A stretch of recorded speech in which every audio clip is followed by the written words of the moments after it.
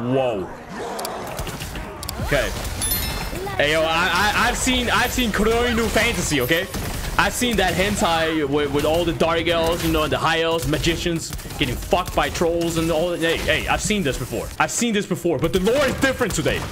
The lore is hi. All right, the, the lore is definitely a lot different. Holy shit.